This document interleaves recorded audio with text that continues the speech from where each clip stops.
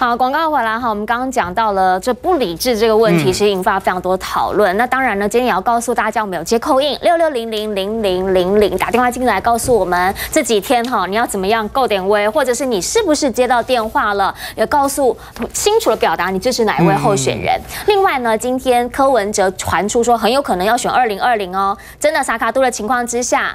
国民党五位候选人，你投谁？也欢迎哈，是话五五一二七手机五五一二五二，告诉我们您的意见。不过说到这个。焦虑啊！现在很多人民众在等着电话，说等不到，很焦虑。但是呢，参选的人当然也很焦虑哦。我们看到郭台铭哦，他说他听说这个赌盘原本是他的一面比较大，不过因为他听说民进党灌票给某个人，现在变成他输面大。说刚刚提到也要出来参选的这个柯文哲，都说郭台铭可能有被做掉的危机。不过大家觉得？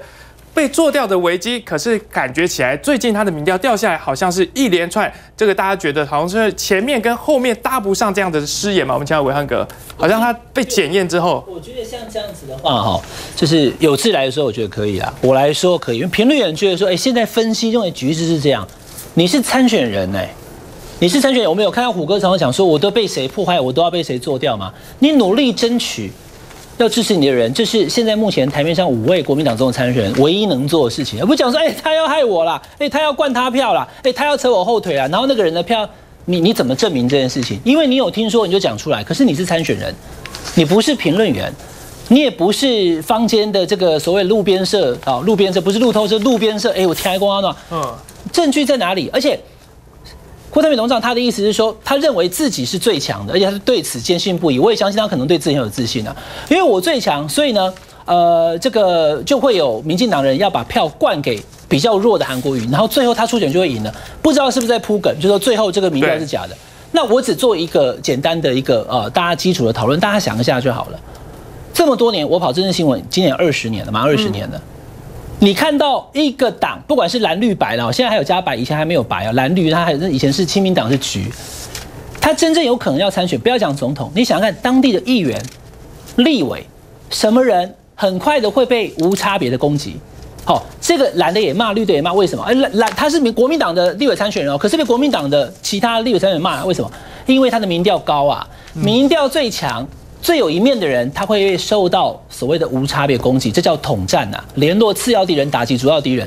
所以，如果过去这段时间郭台铭董事长他被民进党非常非常猛烈的攻击，胜于韩国瑜的话，那我觉得这个基础可能还比较接近事实，就是他可能是最强的。但如果被攻击最多的，哦，包含了讲个话，或者是参加什么行政院会，低个头就变成是在睡觉的话，看起来被攻击最多的人可能不是郭台铭。那这种时候你讲说我很强，但是大家灌票给弱的韩国瑜，那个基础就会被质疑。我所以，我还是倒回原来的基础，就是现在讲这个话，其实说实在，第一个已经开始民调第一天了，这样子讲，我觉得不是很妥。第二个。你也没有办法说服大家，因为你没有证据。第三个，已经成为候选人了，你应该要广开你的票源，让所有人认识你，而且把票投给你，希望支持你。认为不只是过下礼拜一七月十号这一关，还要过二零二零一月十一那一关。所以，如果现在都已经到包含了他讲这句话的时候，就我在旁边嘛，不理智那个事情他没发生。后来讲说他已经不理智了，那这样的话，其实基本上就会让大家担心说，那所以如果到时候。你是那个没有办法跟大家团结的人，你又怎么可能会得到大家支持呢？那最后民调如果没有赢呢？啊，就是因为民进党灌票给别人，那所以整套都已经想好了。那这样的话就就就就不是党内游戏规则所所乐见的。既然要参加初选，既然要跟大家参加民调，那就努力的争取让自己民调高，成为胜选的人。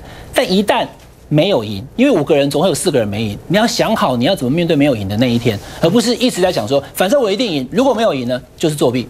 嗯，刚刚好，我们县长跟大家讲了啦，政治人要注重自己的正面、背面如何下台，以及侧面，你平常如何跟人接人待物相处。先进段广告，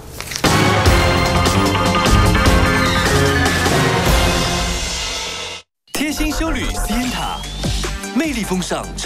好，回来哈，我们刚刚伟汉哥讲到了，说其实现在呢，郭台铭他在接受专访的时候提到了说，赌盘本来自己赢面大啦，但是因为民进党那边操作灌票给别人，变成他输面大，甚至说连柯文哲都看得出来他有被做掉的危机。这伟汉哥他的解释是说，哎，要灌票怎么可能会灌给最强的人？他觉得不合逻辑，而现在没听到在开赌盘呐哈。另外还有什么？柯文哲的幕僚这几天跳出来调带风向。说要挺郭台铭。哎，这其实大家都跨龙模啊，在民调开始的第一天，突然各家开始带风向，连赌盘这种以往我们看到那种大选呐，选的最激烈的时候才看到的手法，通通出炉了。赌盘在这次大盘里面是没有看到啦，因为大大家都知道这种不太会，因为不会引起什么太太澎澎湃的主，是还是郭董在红海里面开的，而而且赌主头是这样，主头他游戏规则越准确的，他比较会开赌盘呐，就是那种飘比较飘忽不定，或者是里面那个他问题。点比较大的，我不敢说是做掉什么了啊，就是他他能够确定说他应该可以知道赌的公平性，他比较会开了。但是个人有啦，就比如说今天今天国庆大哥做走阿桃，那平常就已经我们几个都有在在那个 哎亏姐来亏姐来，哎我觉得对韩国有兴趣，亏姐亏姐，哎。后来后来后来崩亏了。但他现在民调第一天放这个消息，这第一我是觉得郭台铭会收到这么小这么小主头的那个消息，我觉得嗯郭董你的生意做的蛮大的，收到你走阿桃行李你都你都会摘，这个我倒是觉得比较奇怪。嗯，你要在你说灌票哈，我我我，那柯文哲的幕僚会灌票，跟那个他自己的选情会比较有关系啦。嗯，柯文哲会比较喜欢韩国瑜出现，还是比较喜欢韩那个韩郭台铭出现？他比较喜欢郭台铭，因为以以每次的民调来看哈，韩国瑜的民调通常到最后那个不表态率，我不知道大家有没有发现，对，不表态率韩国瑜都比较小，大概都是八趴不到十趴。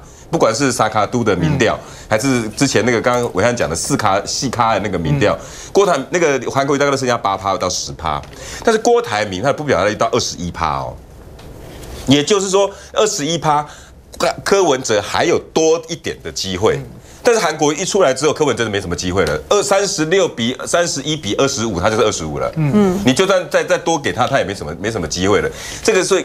那个柯文哲会讲出这样的话，比较我觉得不太意外啦。嗯，但是哈，我最我只对郭台铭最后一句说，我有被做掉的危险，我觉得我不太以为然。嗯，如果你真的说你被做掉，排队吧，你还后面的嘞，你是第几个了啊？你我如果真的要说被做掉，那那最可怜的是谁？朱立伦。如果真的一定要这样讲的话，朱立伦本来是第二名哎。怎么会被灌灌灌到？到底灌给谁啊？灌给灌给你耶！灌给你之后还变到变到第三名哎！那朱立伦可不可以把你这句话再讲一次？嗯，我今天会第三名，就是因为很多票都因为党中央把你弄出来，我才变第三名。朱立伦砍不练不完啊！如果照你这样讲，那朱立伦应该出来一直抱怨，一直抱怨，不断的抱怨。可朱立伦他有今天有那么做吗？朱立伦比他大方多了。他今天第哪怕第三名，还要抱着被女说区区第三名。你讲到区区，也是要生气啊！对，我 眼睛看了他一下嘛。他们改口说区区啦，但一样，那一样就酸，就是酸人家嘛。对，你都已经把人家做掉的，你还骂人家区区，人家都没讲话了。你这被什么做掉？你现在排第二名，哎，你就赶快去努力就好了嘛。你又何必这么不理智？你你你刚刚像刚刚那个麦的那个哈，我有点小小小的意见呐，就是我觉得。你如果如果如果真的要说说不哪里不理智哈，其实郭台铭你自己反正应该在这个场合里面要理智一点，因为所有的不理智来自于自己他自己对选情的焦虑感。是你自己的焦虑感才会在这样的场合说出别人不理智。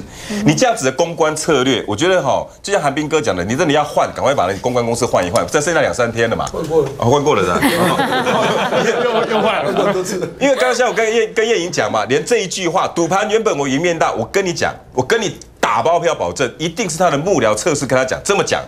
一定会有多个五趴五趴多个两趴，一定是这样的策略。嗯，可你这样的策略出来，只会让人家觉得说你在焦虑，你在不理智，你在怕。嗯，甚至我跟你讲，大家韩国瑜的公公关策略都比你高得多，他一个人他就赢你了。他那天上台的时候，那第一个时第时间的时候，我我是我是很赞赏他的。你还记得他一上台，最后那个七月七号，他上台的时候享受了三十秒大家的掌声。对，那个那个动作代表什么？游刃有余。让大家觉得说他现在气势正好，嗯，享受大家的掌声。VS 双框，现在郭台铭在旁边说：“你看，你们都把我做掉，跟一个游刃有余。”今天你接到电话，你会比较想投给谁？如果你是中间选民的话，再来，你看韩国瑜再来，他不再跟下面的韩蓝军诉诸，他说我要跟绿军讲话。第二个游刃有余，那个气度表示我这边我已经把层次拉上来了，我要到那边去跟你们要了。你郭台铭还在这边纠结，还在输面大赢面大赌盘，还要跟跟谁灌票给谁？我我我请问在在这边等没有没有炒菜的不想上要去上餐馆这些人，如果你是中间选民，你会投给郭台铭还是韩国瑜？嗯，就是一个策略问题。我觉得这个议题真的不需要在郭台铭这么大的一个人来来大家去讲。我最后要讲的是哈，八号到十四号重要吗？其实这几天并不重要，重要的是十五号到二十一号。